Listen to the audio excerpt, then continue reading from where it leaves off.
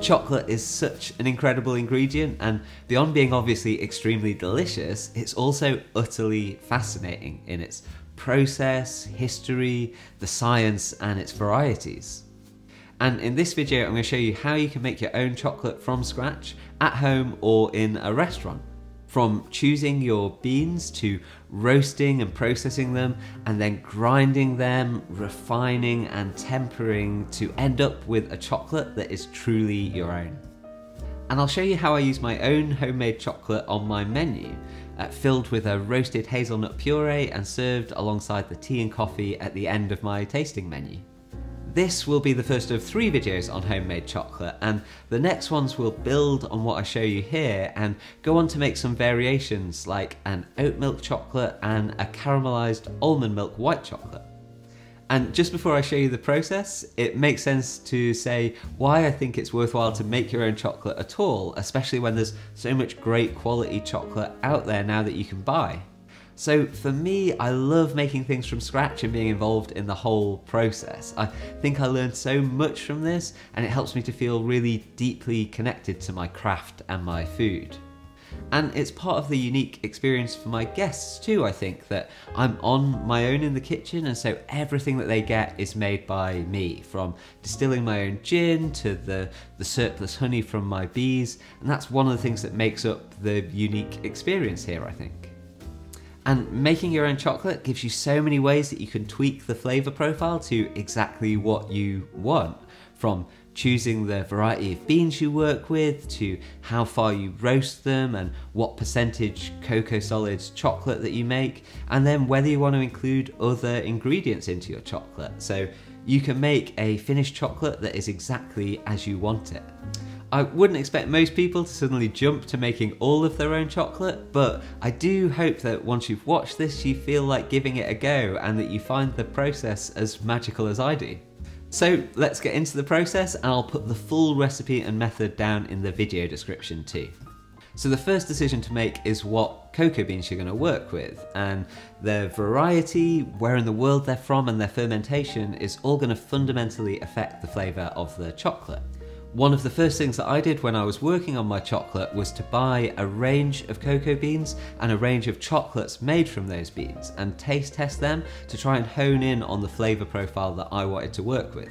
I get my beans from Solkiki, who are a craft chocolate makers here in the UK, and they direct trade with cacao farmers and have a real emphasis on ethics, sustainability, and incredible quality. I really like their Esmeraldas beans, and these would be great for people making their first chocolate because they're relatively easy to work with and have a really beautiful flavour. But it's their Chuncho Cusco beans that I'm using on my menu. It's got a flavour profile that I really like with notes of grapefruit, peach, pink flowers, and dark sugar. If you're not in the UK, I would look for good craft chocolate makers in your area and see whether you can source your beans from them. Next up, roasting the beans is really important for the finished flavour of your chocolate. How far you roast them, how dark or light you go is going to change how chocolatey the flavour is, and also how much of the acidity from the original fermentation comes through. Roasting also starts to separate the skins from the cocoa beans, which is going to make our next steps much easier. I do this just in my kitchen oven, but a drum roaster or a converted coffee roaster would be perfect but I've found the oven works really well just for my small setup. So I roast my beans at 160 degrees for 10 minutes, then drop the temperature to 135 degrees for another 10 minutes, and then lastly let them sit at 80 degrees for the final 10 minutes. And I try and stir the beans regularly during the process to make sure they roast evenly. Once the roasted beans are cooled, we need to crack them ready for winnowing, which is separating the skins from the cocoa nibs. You can crack the beans using a mill, but for my small batches, I've just been using a Ziploc bag and then lightly cracking the beans in there using a mallet. But don't go crazy and crush them into a powder, you just want to lightly break them into even sized nibs. Then I use a hairdryer to separate the skins from the nibs and you can either drop the nibs in front of the blower to let the lighter skins be whisked away or you can toss the nibs in a bowl whilst using the hairdryer to remove the skins. This takes a while, it's a bit of a pain, it's probably my least favourite part of the process, but it is important and this method is surprisingly effective. Now, next we get to think about the formulation for our chocolate and how dark we want it to be. In the next video, I'm going to talk about how you can make milk chocolates and give you an example of a really delicious oat milk chocolate, but we're going to focus on dark chocolate here to start with. You can experiment and make changes to your percentages, but the example I'm going to give you is the 65% cocoa solids dark chocolate that I make for my menu. So for this, I'll be using 675 grams of the prepared cocoa nibs, 395 grams of sugar, 56 grams of good quality cocoa butter, and 4.5 grams of lecithin. There's so many possibilities and options here and ways to get exactly the chocolate that you are after and I made a number of small test batches before I settled on this percentage as the one that I wanted to work with.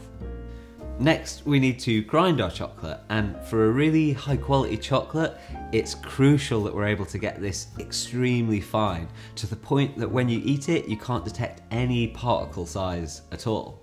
And the only way to really do this on a small scale is using a stone grinder.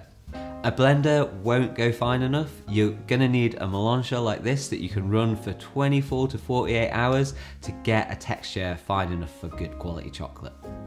This one was reasonably priced at around £100 and it served me really well so far.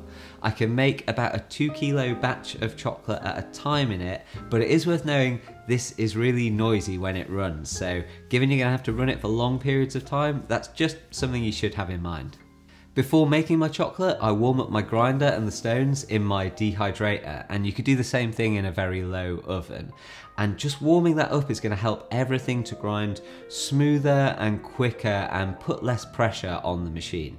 And then next, before we add anything solid, I add a little of my melted cocoa butter just to lubricate the stones too. Now I'll give my cocoa nibs a quick blend in the blender before I put them into the grinder, just to start them off breaking down and give it a little bit of a head start. And you can do the same thing with the sugar too. It really helps if your ingredients are warm as you're adding them too. Again, it just helps everything to run smoother and go a little bit quicker. So I add the cocoa nibs into the grinder bit by bit over about an hour and I keep the lid off the grinder whilst it's grinding, at least for this first couple of hours to let any volatile flavours left over from the fermentation escape. Then I'll add in the rest of my warmed cocoa butter. After about 6 hours of grinding, I'll add in my sugar. And I add in a little bit of lecithin for fluidity. And this is optional, but I find it makes my finished chocolate easier to work with and cast in moulds. Then once all my sugar is in, I'm going to let the mix continually grind for at least another 24 to 36 hours, so that by the end, the whole mixture will have had nearly two days continuous grinding. And then when you taste the chocolate, you shouldn't be detecting any grains, any texture, any particle size at all. Now you could just temper your chocolate at this stage, it's basically ready to work with and the heat generated by the grinding will have helped to really refine the chocolate and drive off any unwanted volatile aromas. But you can go through one extra stage of conching if you really want to get the best quality chocolate possible. Conching basically means we'll blend the chocolate at a slightly higher temperature for a period of time, which will help to really nicely evenly distribute the cocoa butter and also just help to drive away any last residual unwanted flavours from the fermentation. I got some advice on how to conch my chocolate in a Thermomix from Michael Laiskonis, and I do this by blending the chocolate in a Thermomix set continuously at 65 degrees with a little desk fan blowing over the top to give a little extra aeration. I'll let this run for 2 to 4 hours and then that's my chocolate ready for tempering. Tempering is really important to make sure that the chocolate has the correct texture and flavour release and that it can be worked with properly. I temper my chocolate using cocoa butter silk and I'll go over that process here briefly but it's its own topic really and I've made a full video where I go in depth on the process and how I do this. In short, I basically make my own tempered cocoa butter just very simply by holding cocoa butter at a precise temperature of 33.6 degrees Celsius for over 24 hours. And then I add this tempered cocoa butter into my melted chocolate to seed it with the type 5 cocoa butter crystals that I want in order to get a nice tempered chocolate. And that's about it. It gives me really beautifully, reliably tempered chocolate every time. And if you want to see a bit more in depth about the process, you can go and watch that chocolate tempering video in full. And then to make my filled chocolates, I pour my tempered chocolate into polycarbonate molds, and then after a minute, I invert them and tap out the excess chocolate, and that creates these lovely little thin shells. And then I can fill those chocolate shells with my roasted hazelnut puree. And lastly, I cover that over with more tempered chocolate and then let my chocolates set. And that gives me my finished little chocolates that I serve at the end of the tasting menu. It feels to me like a really nice way to end the meal with homemade chocolates made completely from scratch in house, and it also nicely mirrors the start of the meal that begins with the homemade gin and tonic with gin that I'm distilling myself. I think these help to underline the work and care that goes into everything on the menu and how passionate I am about my craft. And again, I hope it adds to the uniqueness of the experience, and it's something I'm really excited to share with my guests and to talk with them about. So I hope you found this interesting and that you might fancy giving it a try yourself, but even if not, I hope it's given you a deeper understanding of the process. All of this will serve as a foundation for the next couple of videos where I'm going to show you how you can get creative with ingredients that you can add into the chocolate and how you can make a really delicious oat milk chocolate that I really prefer over any dairy milk chocolate that I've tried and a caramelized almond milk white chocolate. So you might want to subscribe to make sure you see those next couple of chocolate making videos, and thanks for watching, I'll see you soon.